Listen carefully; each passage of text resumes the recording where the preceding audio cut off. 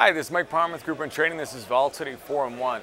We've had a bit of a rocky week in the market. We had a big sell-off earlier this week, but over the last two days we've seen markets rally and accordingly we've seen the VIX pull back. It was trading above 20, now we're below 18. This is what you would expect. Now in the environment where we start seeing markets rallying and volatility coming in, we actually see volatility VIX options doing similar. We see people start to sell those front month options. They sell the options that are going to decay the fastest. In this case, that is October. October expires next week, October 16th.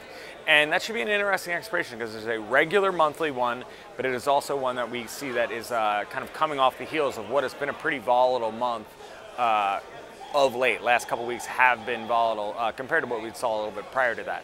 Now, what is interesting to me right now is, is that we're seeing October volatility is coming in. We're seeing the October future coming in. The November future actually is still a little bit ele elevated. It's actually trading parity with December. Now, December future always trades a little bit lower because it is pricing off the January S&P 500 options, which includes three holidays, Christmas, New Year's, Martin Luther King.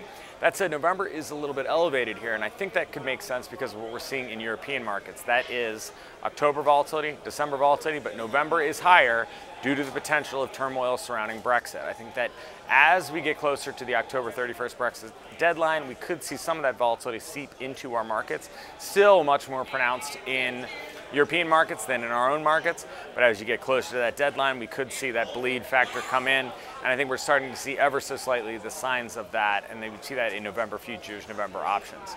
But until then, right now, all eyes are on the October options. We expire again Wednesday of next week. Uh, and it should be a pretty interesting expiration because we've been moving around quite a bit over the last few days.